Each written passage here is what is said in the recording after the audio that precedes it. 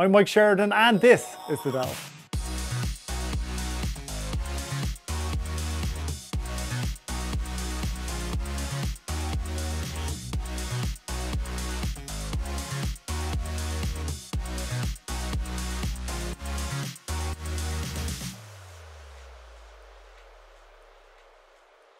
Hey guys, welcome back to the Delve. I'm Mike Sheridan. This is my show. I own it now. So that's why there hasn't been content on this channel for a year. So if you're already a subscriber on this channel or listened to the podcast previously, uh, that's why. So essentially, I work for a publication called entertainment.ie for a long time, uh, on and off. And they're a wonderful company, wonderful publication. I still have a great relationship with the people there. I left last summer to go and make documentary projects and do some other bits and bobs. Um, but given what's gone on in the world, it was very difficult to travel and to be able to shoot those products. So, long story short, I did a deal with the guys at entertainment.ie and Packed House, the company that owns it, and bought the show back. So, the show is 100% independent this season. Um, it's supported by a company, like an amazing Irish company called Spotlight Oral Care, who I'll talk about a little bit later on during the interview too. Um, and I'm really delighted to have their support this season for the show too, because they've really helped make it happen and just uh, Uh, give us the resources to be able to push the show a little bit further. So I can't think of a better guest for a, a launch guest, and I say this to Bill probably more than once. So I'm a huge fan of Bill Burr. I don't know many people who aren't, to be honest with you. He's one of the best stand-up comics working in working today anywhere. I've seen him live a bunch of times. I saw him do his last special, Paper Tiger, in 3Arena. I saw him do another version of it in Prague, and both times killed it. He's one of those guys you can always go back and watch his older specials, and they're still funny. So Bill has uh, two projects out on the same day. So on June 12th, he has uh, his, well his biggest role I think in a mainstream movie for sure. Um, in The King of Staten Island, he's hilarious in it. Him and Marisa Tomei are fantastic it. It's a Pete Davidson starring movie directed by Judd Apatow and it's really funny. Um, he also has the latest season for F is for Family on Netflix. So it's a huge, hugely popular series on Netflix. If you haven't watched it already, do go back and start binging it. They're super short episodes. It's animated, so they can just get away with a lot, lot more. So yeah, this is 30 minutes of me talking to Bill Burr, being authentic. The whole point of this season is I, I want the interviews and the discussions or the conversations, whatever they end up being, to be authentic we're really lucky this season in terms of the people that we've been able to get to do the show, especially because it's independent. And again, I, I really cannot think of a, a of a better launch guest than Bill Burr. So do enjoy the interview. Uh, if you liked it, subscribe, comment, and let me know what you think. Or if you're listening to this as a podcast, uh, make sure you review and be sound. Thanks, guys, and enjoy the interview. What's going on, Bill? Are you well? I'm doing all right. I'm doing all right easiest make... press story I've ever had to do. I get to do it from home. What's going on? Have you done a lot of press like this? Uh, I've done a lot of podcasts, and then this week, you know, with um, um, uh, the King of Staten Island and F is for Family, only being a couple weeks away, I'm starting to do more. I did some of this stuff yesterday. Okay. And you you're enjoying that it's from home? You're enjoying you don't have to go into a studio or go through LA traffic and and all that. Yeah, and I don't have to pollute the air and it can stay in the air. It's like beautiful out here now. So I'm hoping at the end of this pandemic that everybody is be like, hey, I don't need to fly everywhere for a meeting. I don't need to drive everywhere and sit across the table. We've had this Star Trek technology for a long time, and for some reason we've never used it. Um, I don't know about you, but I mean, I like going to the airport if I'm going on vacation with my family. But uh, you know, to, to just be like on a business trip or something like that. Obviously, as a comedian, I have to go, but I'm just saying, if I was like in the business world, I'd be like, guys, we can do this from our houses. it's, it's all gonna it's all gonna change now. That's it. It's it's all. Gonna well, you'll finally be able to have it all because forever they always like, can women have it all? Can you have it all? Can this guy have it all? The problem was is you had to go places. If you want to be successful, you had to make sacrifices at home. This way, you could actually be, you know, corporate rating a company from your hot office in your own house and then go play frisbee with your kid. And you can have it all. You're uh, you're coping pretty well throughout the whole pandemic, right? You, you've been you've been doing okay. We're doing this at the end of May, so I know what the the Yeah, I, I've been a little agitated, irritated, a little snippy lately, and I think um because I just I just sort of go, oh, this this sucks, and then I go like, well, everybody's gonna say it sucks, so I'm gonna go the opposite way, and I just sort of I don't acknowledge my feelings. I think is what I do. So because people keep asking me, do you miss stand up, and it's like, no, I don't, but now I think I do, which is I'm just not in touch with it, so I'm just kind of being a lunatic. So um, I got to make sure I work out every day, play a little drums, get it out, play t-ball with my daughter, just run around a little bit because I'm used to, you know, been doing this for 28 years. I'm used to just go, go, go, go, go, which also wasn't good. But to then just immediately stop and then go the exact opposite extreme, yeah, it's been a little weird. Could my forehead be any shinier with this overhead lighting? Look at look at my look at his head of hair. It's ridiculous. It's grown outwards, and It's my own, tremendous. You should be happy. in my own head, I'm like, you know what? I could look like Tom Cruise and Jerry Maguire. He has that kind of hair going on. It's more like Donald Trump Jr. You know, it's like reality versus, you know what? No, you got good here. Donald Trump. I think Donald Trump had some issues, and then he fixed them, and then he just kept he kept the swoop. But I think there was for a while that was he had the uh, the mother of all comb overs. So, do you find that having the podcast has helped you, like that structure? So, you, you've obviously got your own podcast. You've got a podcast with Bert as well. So, Bert was Yeah. actually the last interview we did on this show last year before I bought the show. So, we actually shot with Bert in Vicar Street. cool. Um, so we, Yeah. we we talked about you a fair bit as well. But is that given your is that giving you a bit of structure because you would be doing the two podcasts a week and doing the new podcast as well? Uh, yeah, I mean, podcasting is easy. Stand up is easy. Like, tra- it's the travel that sucks. Other than that, I don't have a real job. I just, the shit you and your friends do in a pub is what I do and somehow get paid for it. I don't know why. I'm, I'm thankful for it. But um, yeah, the only thing that sucks about my job really is, uh, is, is the travel, the travel, the travel, the travel, and being away from your family but I mean the payoff's pretty amazing. Um, so yeah, I, it's yeah, podcasting is easy. You've got a you you mentioned a 28 years at this, Bill. It's a like June 12th is pretty big. I know it's your birthday around around then as well, but June 12th is a is a pretty big day. Um, you've got yeah, it's for family, the new season of a dropping, and you've got you know like kind of a co-starring role really in a in a Judd Apatow movie.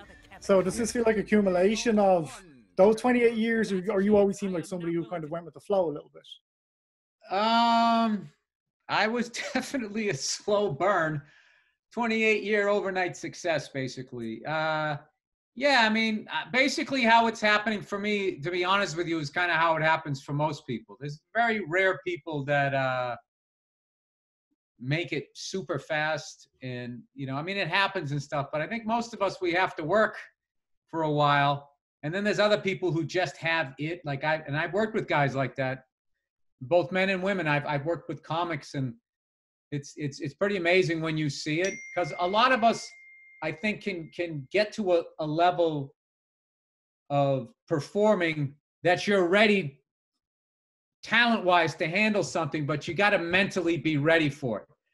And there's things that people do to sabotage it and screw it up and hold it at bay, and then you know blah blah blah blah blah. But there's there's a few people that I've seen that were kind of born with the talent and the confidence, and just like uh, I saw that with like Kevin Hart, I saw it with Dane Cook, um, John Mulaney. John Mulaney, I worked with him in Chicago. He was like a feature act, and I was just looking at him like this guy looks like he's hosting the Oscars. I mean, he just his poise, his his joke writing, it was just like he was so polished and so good I mean, he was he was in a lot of ways. He was on that night. He was the better comic. I mean, I was there, fucking, fucking, you know, doing whatever the hell I do, but he was up there, and it was like, here's my idea, here's the execution. Now you laugh. It was just bang, bang. Everything was just going over the fence, and you know, I did a zillion gigs and worked with a zillion comics, and that working with him, first time I saw John, that really stuck out to me. Do you feel like the game is changing a little bit now? Because I mean, especially with the Rogan deal, it's just gone through to Spotify, obviously, which is amazing. Before that, Bill Simmons did something very yes, and. I want to tell all the all the all the young podcasters out there. All right, agents are pissed about that deal. that they didn't wet their beaks on that thing. So now what they're going to try to do, all you young comics out there and, and young performers, they're going to try to sign you to a deal where where they're going to help you create your podcast and they're going to own it with you and they're going to try to make it make it like when you back in the day if you booked a sitcom, right? Or or or something, right? And and then you left your agent. For the life of that sitcom, you had to pay them because they did something. They're going to try to get in that. Their job is to get in the middle of the money flowing to you so it passes through them. They get it, and then they write a check to you that has your money, but their name on the fucking check. And when that happens, there's no way you can steal from them and they can rob you fucking blind. Young people, there's no fucking reason to not own your podcast. Anybody, you just buy a microphone and record. You got a, you're a podcaster. Why would you give somebody that? Be like, well, we have connections. We could blah blah blah blah. But fuck all that. Believe in your talent. Get your following going. Do the fucking work. Don't take the shortcut. And then uh, you could do it. Every once in a while, an artist slips through their fingers and they miss out on a big fucking deal and it pisses them off. I'll tell you, there's a few deals that I've seen like that. Um, when Jerry Seinfeld's show, when Seinfeld show went to syndication, I guarantee you, all, all the suits were like, "How the fuck do we owe us? How the fuck do we owe a stand-up comic five hundred million dollars?" Go back and look at that deal. Don't ever give that deal out again. And that was it. No one. I think Ray Romano almost got it, but I think they were starting to smarten up or something like that. But that that was it. They're like, "Fuck that. We get the money. Money goes to us, and then we we break off a little bit to you." And then we say there's all these expenses, and then you audit them, and then you have to sign a fucking NDA before they open their books. And then you see that they're robbing you blind, and then they'll give you like 10% of what the fuck they owed you. And then they'll say, that's how business is done. but that's almost like how you know new media or independent shows, independent podcasts have, have become so part of mainstream now because they're get, starting to get ripped off by agents, or that's going to yeah, happen. That's, that's what they're going to try to do. That's why we created All Things Comedy because, you know, I've been in the business long enough, and artists always create a scene, and then the businessman comes in and figures out how to make money for it, which is good. But the thing is, is they then stick themselves up here, and you're here, and then you're always the money's always going to them. You know, it's like I thought we were in business. I thought we were making money off of them, and it's not. We're making money off of them and off of you, and we own it. And go fuck yourself. Dude, go look at that. Uh, what Lord of the Rings? Lord of the Rings made six billion dollars, gross six billion dollars. Three movies, a fucking movie, gross six billion dollars on paper. They are not in profit. They're not in profit, and like the director had to sue them to get paid. They shot it in New Zealand, so it wasn't SAG. They paid the actors once, fucked all of them. I'm telling you. And then you go on Twitter, like, oh, these fucking celebrities just sitting by their pools. These fucking business cunts got a straw in all of our pools trying to suck all the water out, like that guy in fucking There Will Be Blood. But it's a, it's a kind of a further indication of how things are changing now as well, because both of these, both of your the show F is for Family and the King of Staten Island, they're like F is for Family is obviously Netflix, but the King of Staten Island is available on demand.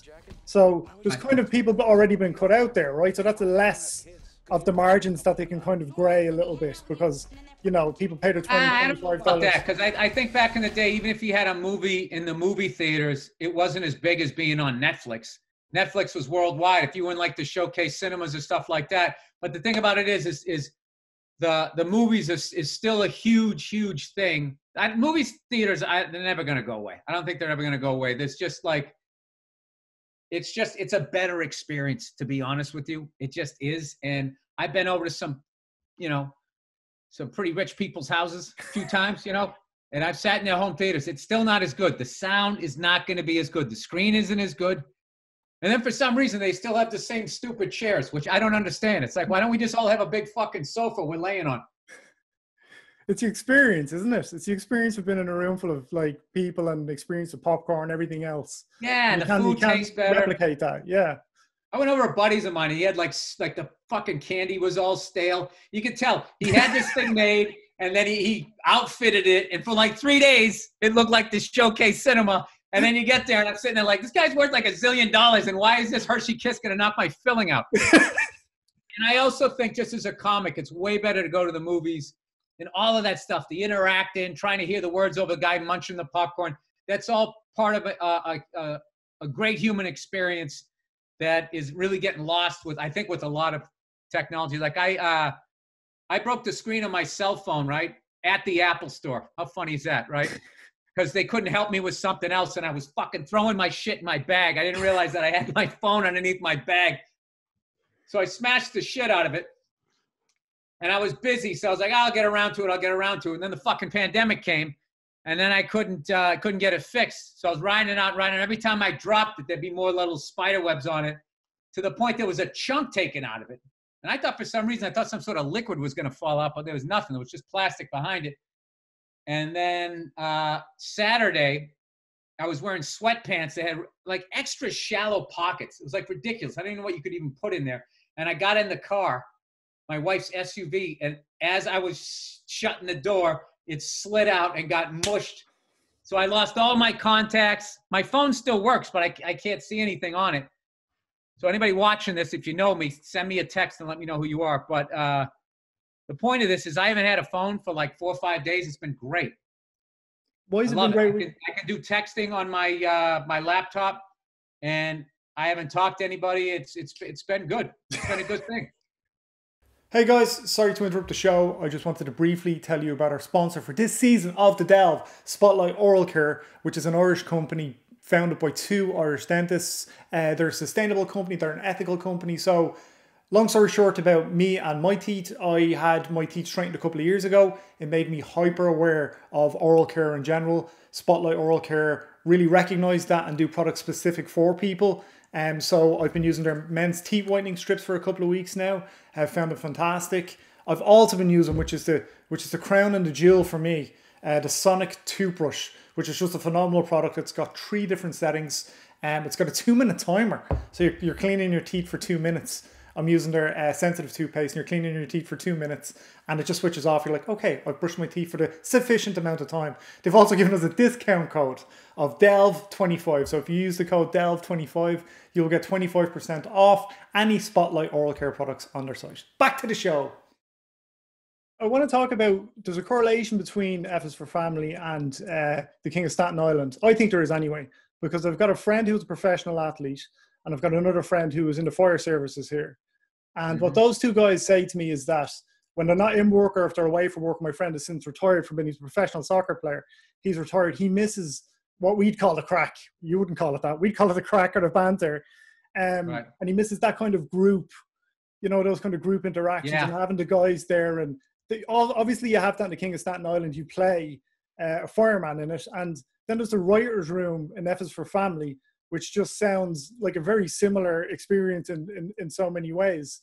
Is that is that was that almost like the closest thing to becoming an athlete to some degree, like having that having those interactions? Writing on a cartoon and pretending to be a fireman is that like being a professional athlete? I'm going to say no.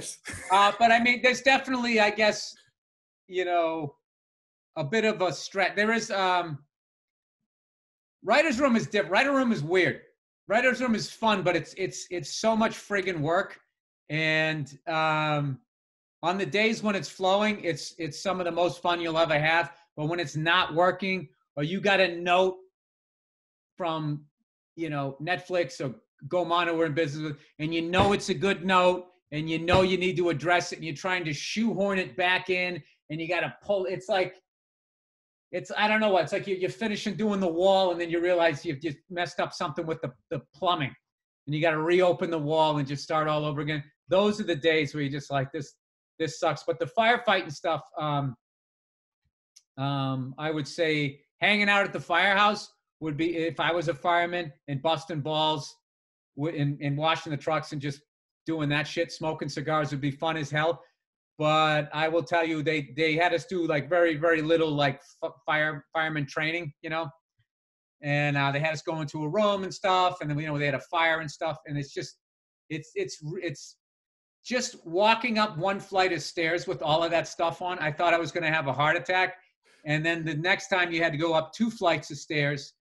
This was out on uh, one of those islands in New York, not Roosevelt Island. There's this whole structure that they light on fire and then you put it out and you know it's part of the training. I think Denis Leary was a major part of helping that thing get built. And um, I just tell you, like, it's scary. It was scary, even like knowing, like, they had you into a room and just feel around, you know, and you couldn't see anything and breathing with that mask. And even though it was fake smoke, and at any point they could just pull you out, it was very claustrophobic. And just the heat of the fire and stuff. And uh, these guys told me that, you know, you knew it was time. You, you your your earlobes were your, your sort of your temperature gauge as far as whether they get out of there. And he talked about guys who would come out and their earlobes had melted off, and I was just like, I mean, it's it's it's no joke. It's really like a uh, um, I, I don't know. It's the weirdest thing where it's a lot like a comedy club where you're hanging out busting balls, and but then like any day you could literally die in a horrific way. By the way, so um, like what was that one recently? I saw this this footage of this fire where they went in and they didn't realize it was like all this butane in boxes and it blew up and these guys were running down back down the ladder truck running down the ladder that was engulfed in flames it looked like a marvel comic movie and they were just flying down this thing and and i'm just like thinking their earlobes are burned off and that suit can only hold the heat out for so long I, I can't imagine, and, and you can't breathe. The, the flames taking up all the oxygen and stuff. It's like, it's a, um, it's it's quite a job. I, I don't, yeah, I don't think. everybody's like, I don't have. Yeah, you have the balls to do stand up. It's like, yeah, no point in my earlobe's going to get melted off. Well, you know. Well, well, Steve Buscemi, right? Steve Buscemi was a firefighter. He, he was a firefighter for four years or something like that. And I know he went back after 9-11 uh, to volunteer. So he's been there. Like that's very real for him too. Did he have any stories? Uh, yeah we had those like three or four people who were actually uh couple i think three of them were still active on there. So they were kind of helping us out so we didn't look like a bunch of actors pretending to fight a fire. Um yeah I, I got to talk to steve a little bit about that stuff. I mean i was asking about reservoir dogs and shit like that to be honest with you but um, but there was a guy Mario, Giselle. There was a there was like three or four people on there that were that were um, actual firefighters, and uh, it's cool, man. They have like it's cool. They have like a poise to them that uh, you know, and they definitely have like that team sort of mentality where they were, am, I, is this looking stupid? No, you're doing great. You're doing great. Just make sure you do this, blah, blah, blah. So in my head, I'm going, okay, so I looked a little stupid, but he's giving me the attaboy. So like, even just like putting up the ladder, there's a way to do it. So you don't look like, you know, you're in the three stooges. So um, yeah, it was a lot of fun. And it's that dark sense humor as well. I, like I know that from my friends in the Dublin Fire Brigade here, where it's how they deal with it, right? It's how they deal with the crazy shit that they see. They all kind of rib on each other. Yeah, that's why it's so stupid when comedians get in trouble for making jokes about stuff like that. Like, there's a lot of people that either choose not to understand humor or they just don't. Like, it's like people make jokes, you know, walking on a battlefield seeing dead soldiers. I mean, it's it's it's not that you think it's funny. It's just you. It's a way of uh, coping. It's a coping mechanism. Like, I don't want to feel that awful feeling, so I'm going to make a joke so it's actually because you care, because you're feeling feelings, you, but it's just you don't feel like feeling them. I mean, I don't need to tell the Irish that. Jesus Christ. so that's what I do like, though. Uh, you guys, you know, I've I've seen the uh, F is for family translated into a number of languages. I imagine with you guys, they probably just keep, you know, my voice when F is oh, yeah, for family. It's, yeah, it's all in, it's all in English. It's all in the same, yeah. But I I saw. Uh, I've seen it in. Um, I saw the Mexican version of it, and it sounded it was hilarious because it sounds like it translates perfectly. Like I feel like uh, you know, certain Americans, the Irish, Scottish people, Mexican, a lot of Latinos, we have that short fuse, emotional, big heart, but we'll say crazy shit, and then afterwards be like, yeah, sorry about that um, it seems to play really well in those areas. Like we watch it in the writers' room. Like we've watched like the Brazilian, the Colombian, um, Russian, and we laugh our asses off. Like some of it, like it, you know, if the if the language is too like smooth or like eloquent, it adds like a, a new kind of like humor to it, but in our heads we're like, well, we know there has to be a Frank Murphy in, in every one of these countries. So there's a variation um, of a lot of the characters. You um, yeah. I've, I've been to I've been to most of the shows you've done here, probably all of them, and it was interesting your reaction to the Irish crowd and the Irish crowd, and you just getting it right away because the Vicar Street show, you told everybody you had free DVDs, and reaction from the crowd was to tell you to fuck off, which you thought was hilarious. Ah. And oh, then, oh yeah, remember that. Yeah. And then 3Arena, we cheered 9/11 for some reason. I don't know why. So it's like this is a yeah, that's right. You guys, you cheered 9/11. I was like 9/11, and you guys like hey, and like I I I I love that sense of humor where it's um I mean the reason why I love that is because I do that when I watch TV. Like my my wife like just goes through the emotions of things, and when there's fat people trying to lose weight, or somebody talks about getting picked on at, at, at school and stuff, I'm dying laughing. She and she's like hitting me like, "Why are you laughing at this?" I'm just like, "Cause it's it's cause it is sad. It's sad, but I'm also on another level. There's something so fucking irritating about this that I that like this TV show is making money off of this person's misery. Like my wife uh, watches those fucking murder shows, you know, like the shows where they're like, you know, it's like real life, and then people come on and just watching the interviewers trying to get the person to to cry about their dead wife or dead brother it's just one of the most reprehensible jobs. And you just see him like trying to pull it out of him. And they're just going like, yeah, so so you must miss him a lot, huh? like how many showers do you take after that fucking interview? It's so messed up. It's a watch that uh, trial by Netflix, or sorry, trial by media on Netflix. If you watched it, it's so messed up. It's like I think it's George Clooney and Grant Heslov produce it, but there's all these different stories about how like the media can twist things and, and turn things and it's it's pretty scary especially i think it was when they started filming trials when they started broadcasting yeah like Court TV that well, kind the of problem is now is uh there's so many places to watch content that everybody in their own way has to be a bit of an ambulance chaser just to get people to stop I mean, the fact that you know here we basically we got like two 24-hour news networks, Fox and CNN. There's a bunch of them, but they're sort of the two big dogs. And you're watching the news, and there's no question who the person voted for for president. You know who they are. I mean, we had like people like CNN were like crying when Trump won, and I was just sitting there going like, "Can you be a fucking professional?" Jesus Christ pull yourself together, you know?